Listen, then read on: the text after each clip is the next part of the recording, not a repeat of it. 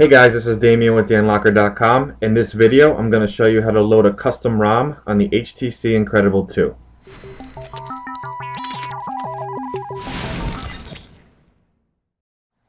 Alright, so before we get started, you have to have a rooted phone and also a custom recovery on that rooted phone. If you don't, you can head on over to our how-to section under Droid Incredible 2 and we'll get you all set up. So after you get your phone rooted and install the custom recovery, we need to download a custom ROM. So you can head on over to our ROM section and then pick out a ROM that you would like to download and try on your phone.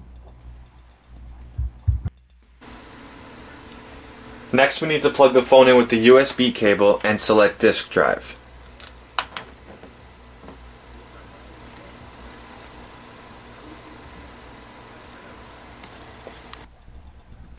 Now we need to place the downloaded ROM zip file onto the root of your SD card.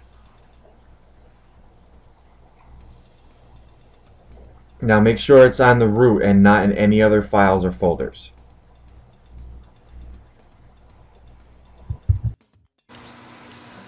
Now power your phone off. And then we need to reboot into fastboot. Now to boot into fast boot, hold down the volume down button and the power button at the same time.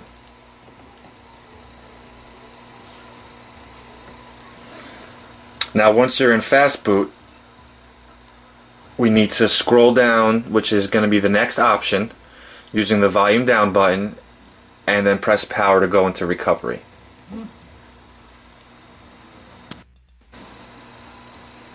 Once in recovery, we want to do a Nandroid backup just in case we make a mistake or if we want to revert back to our previous settings.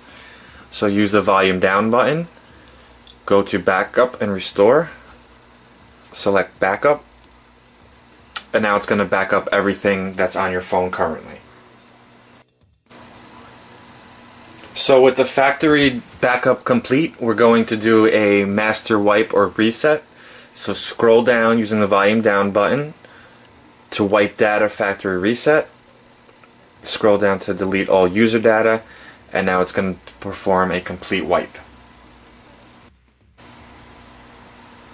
Okay, with the master wipe complete, it's time to flash the new ROM.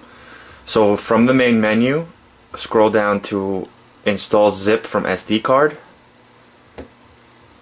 Choose zip from SD card and now we're going to scroll down to find your custom ROM zip select it by choosing power and then scroll down to install and again press the power button to flash the ROM